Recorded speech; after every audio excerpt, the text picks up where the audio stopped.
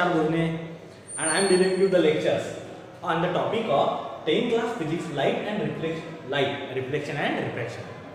So so, इस lecture में हम शुरू करने वाले light reflection and refraction tenth class physics का फ़र्स्ट चैप्टर अब देखो अब इसमें हम सबसे पहले बात करेंगे लाइट है क्या फिर रिफ्लेक्शन रिफ्रैक्शन फिर स्पेरिकल मिरर्स ये बहुत ही इंपॉर्टेंट चैप्टर है। सबसे ज़्यादा नंबर के जो सबसे ज़्यादा नंबर का प्रॉब्लम ये एग्ज़ाम में आता है। अब चलो तो इसे हम पढ़ते हैं। लाइट क्या है? बेसिकली लाइट क्या है? अब लाइट क्या है मतलब? लाइट जैसे लाइट की स्टडी बहुत लोगों ने की हम जो देखते हो लाइट जिसकी वजह से हमें विजिबल हो, चीज़ें विजिबल होती हैं। कोई बोलेगा light is a form of energy कोई बोला it is nothing but electromagnetic wave okay तो क्या हुआ? लाइट के बारे में बहुत सारे साइंटिस्ट लोगों ने स्टडी की। और इसमें सबसे ज़्यादा अगर कोई फ़ेमस था, पहले से ही, जिसको गॉड ऑफ़ फिजिक्स भी बोलते हैं न्यूटन तो सर आइजैक न्यूटन ने क्या कहा था? लाइट ये जो है, ये लाइट कैसे बना हुआ है? उन्होंने कहा कि लाइट का नेचर जो है, वो पार्टिकल नेचर है। Light is made of corpuscle तो छोटे छोटे टाइनी पार्टिकल्स होते हैं, उनसे लाइट बनाए ओके फिर उन्होंने कहा कि, उन्होंने एक स्टेटमेंट दिया लाइट की विजिबिलिटी के बारे में। तो हमें अलग अलग कलर लाइट के क्यों विजिबल होते हैं? तो जैसे ही अलग अलग कलर के लाइट एक स्मॉल रिजिड टाइनी पार्टिकल से बनता है ओके और इन सारे पार्टिकल्स को क्या कहते हैं? कॉर्पस्कल कहते हैं। फिर उन्होंने कहा अलग अलग कलर के जो कॉर्पस्कल है, उनके साइजेस अलग अलग है, बड़ी, छोटी। जैसे लाल कलर का बड़ा है, पीले कलर का छोटा ओके फिर ब्लू कलर का और बड़ा। अच्छा इस तरह से। फिर क्या हुआ? उन्होंने कहा लाइट में जो है ओके लाइट की स्पीड के बारे में उन्होंने इस तरह से बताया कि speed of light in a denser medium is greater than the speed of light in a rarer medium मतलब अगर कोई, जैसे धुआँ है मॉइस्चर वगैरह आ गया डेंसिटी बढ़ गई इन्वायरमेंट की सडनली बारिश हो गई, यहाँ तो होती रहती है ओके कभी बारिश होती रही। जैसे तो क्या होता है तो उससे डेंसिटी बढ़ जाती है। डेंसिटी बढ़ जाती है तो लाइट की स्पीड डेंसर मीडियम में बहुत ज़्यादा है। और जनरली क्लियर एयर में क्लियर एटमोसफेयर में लाइट की स्पीड कम है। ओके तो ये बात किसने कही थी? न्यूटन ने। लेकिन हाइजेन ने इस बात को साफ़ झुटला दिया। क्यों?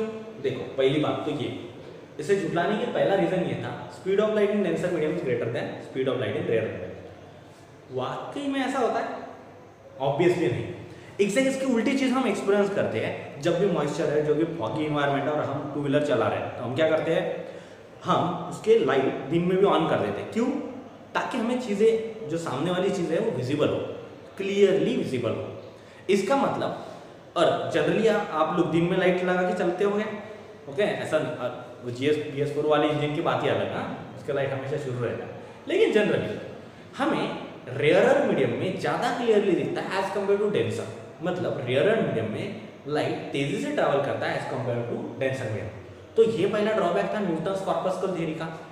तो न्यूटन चल झूठा फिर उसके बाद में जो बात थी, दूसरी बात light is made of corpuscle इसका मतलब अगर हमने टॉर्च को ऑन किया और टॉर्च का लाइट दीवार के ऊपर इंसिडेंट हो रहा है, इसका मतलब लाइट के जो कॉर्पस कल है, वो टॉर्च से लेकर दीवार के ऊपर जा रहा है।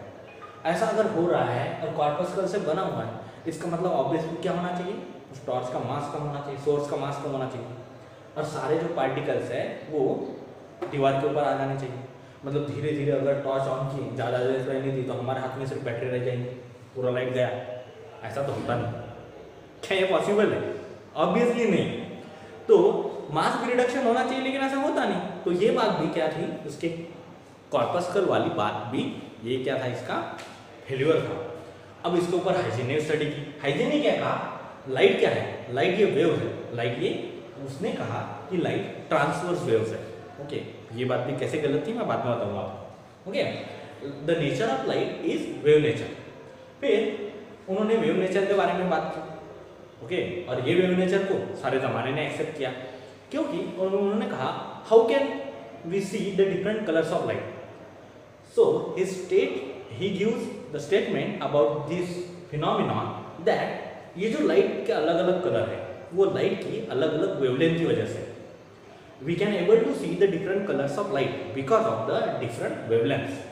Because of the different wavelength. ये किसने कहा था? हाइजेन ने। अब मॉडर्न थ्योरी में जब दोनों की स्टडी की गई तो ऑब्वियसली हाइजीन ने ज़्यादा बातें सही बनाई थी।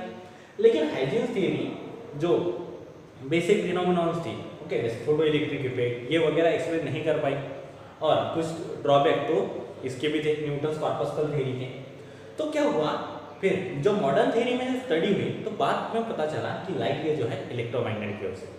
अब चलो हम लाइट के नेचर के बारे में लाइट ये ट्रांसफ़र वेव नहीं है। जैसा कि हाइजीन ने कहा था, ये इलेक्ट्रोमैग्नेटिक वेव है।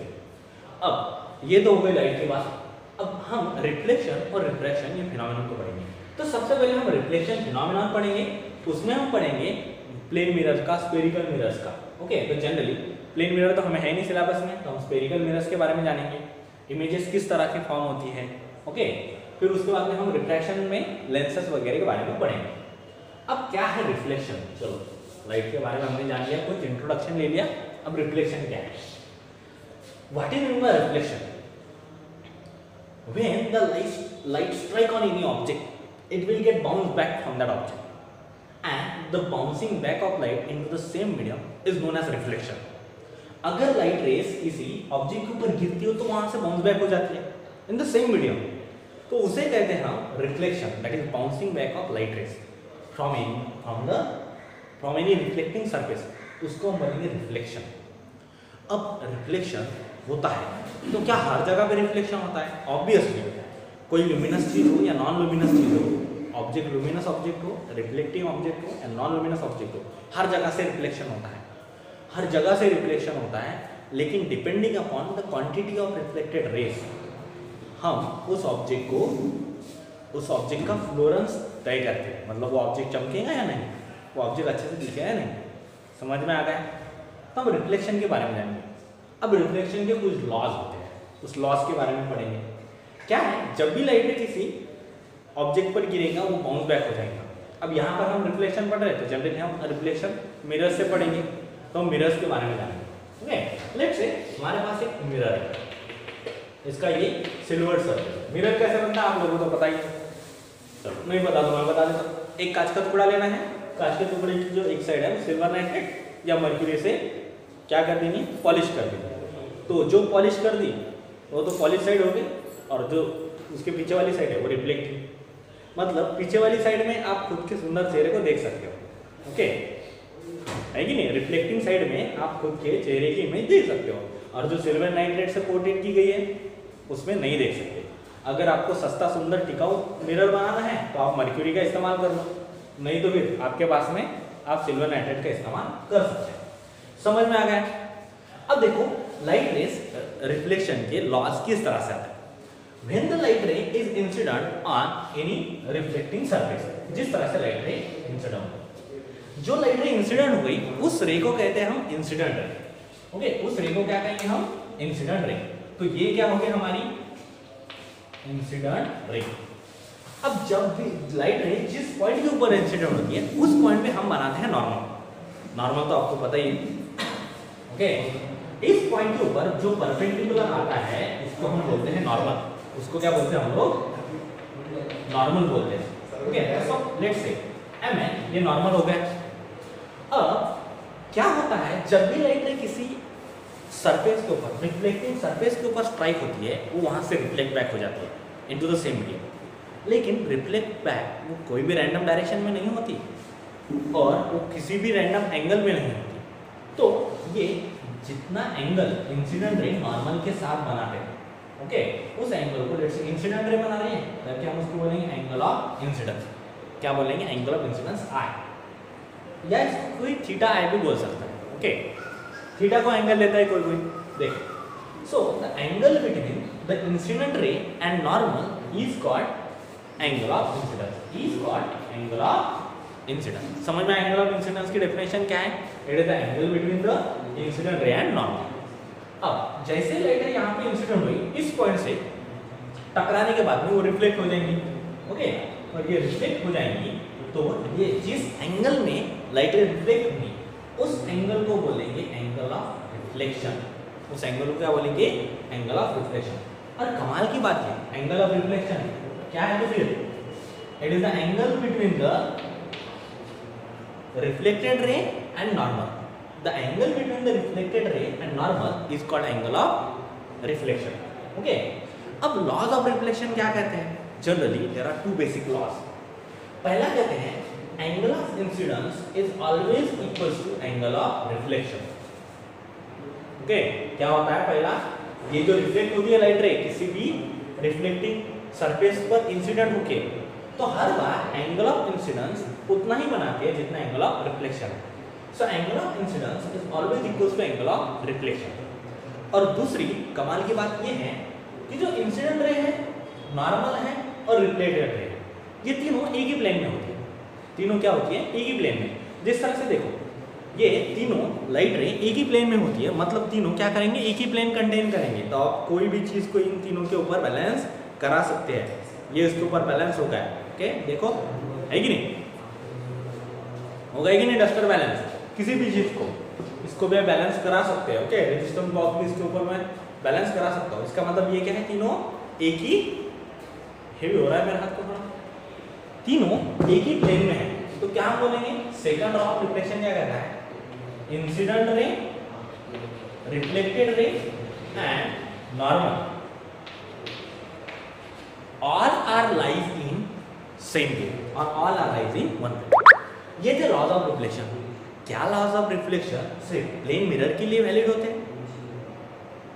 या सारे मिरर्स के लिए? या सारे रिफ्लेक्टिंग सरफेस के लिए? तो माय फ्रेंड ये जो लॉज ऑफ़ रिफ्लेक्शन है, ये सारे सरफेसेस के लिए, सारे टाइप के मिरर्स के लिए, और वो रिफ्लेक्शन चाहे रेगुलर हो या इरेगुलर हो, सबके लिए वैलिड होते हैं। चाहे आपका रिफ्लेक्टिंग सरफेस इस तरह का क्यों ना हो। अगर लाइट यहाँ पे इंसिडेंट हो रही है तो आप यहाँ पे नॉर्मल बनाएँगे। Angle of incidence equal to angle of reflection और ये इधर हो जाएगा। अगर आपकी लाइट रे यहाँ पे इंसिडेंट हो रही है तो आप इस पॉइंट के ऊपर नॉर्मल बनाएँगे। Angle of incidence equal to angle of reflection और ये लाइट है इस तरह से। सिर्फ़ वहाँ पर जो रिफ्लेक्शन होगा लाइट रे का, वो इरेगुलर होगा। लेकिन ये जो लॉ है angle of incidence equal to angle of reflection incident ray normal ray and the reflected ray all are lies in same plane ये हर बार वैलिड ही होंगे। ओके इस चैप्टर में हमें पढ़ना है मेन स्पेरिकल मिरर्स तो स्पेरिकल मिरर्स क्या है? स्पेरिकल मिरर बनते कैसे हैं? हम उसको ओरिजिन से पढ़ेंगे। ओके तो नेक्स्ट लेक्चर में हम पढ़ेंगे स्पेरिकल मिरर बनते कैसे हम एकदम ओरिजिन से एकदम डिटेल में पढ़ेंगे। आपको उसमें कोई भी डाउट नहीं रहेगा। एक बार आपने स्पेरिकल मिरर पढ़ लिए, उससे इमेजेस कैसे बनती हैं, हम ये ओरिजिन से सीखेंगे ओके मतलब हम जो मिरर इंजीनियरिंग है मिरर इंजीनियरिंग की सारी टेक्निक से हम रिफ्लेक्शन और इमेज बनती हुई पढ़ेंगे। आपको उसमें कभी भी कोई भी दिक्कत नहीं आएगी लाइफ ओके तो ये हम देखेंगे next lecture okay thank you